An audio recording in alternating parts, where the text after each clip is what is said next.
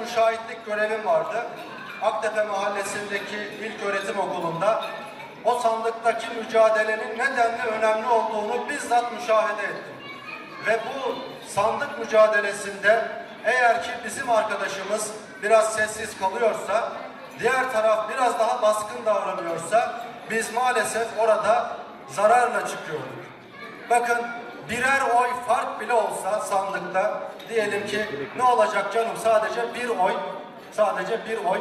Şu anda Denizli'mizde 2300 civarında sandık olduğunu düşünüyorum. Tabii ki 4 yıl falan oldu il başkanlığını bırakalı bilmiyorum değişmiş olabilir. Sadece bir oy diye küçümsediğimiz o oyun toplamdaki neticesi 2000 küsür tane oya tekabül ediyor. Ve daha önce katılmış olduğumuz bir toplantıda sandık görevlileriyle alakalı bir benzetme yapılmıştı. Asla ve asla terk etmememiz gerektiğine dair bir ant olmuştur, yemin olmuştur.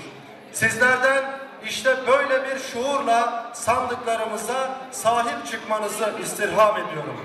Yine sevgili arkadaşlar biliyorsunuz AK Parti bir hizmet yarışıdır. Bir bayrak yarışıdır. Bu bayrak yarışında bizden önce görev yapmış olan Hüseyin Gürles'in başkanımız Pamukkale'de çok güzel bir dönem de geçirdi. Allah razı olsun kendisinden. Şimdiden sonrasında ise bu kardeşiniz anlıyor ki önce Allah'a sonra da sizlere emanet. Hepinizi saygıyla, sevgiyle selamlıyorum.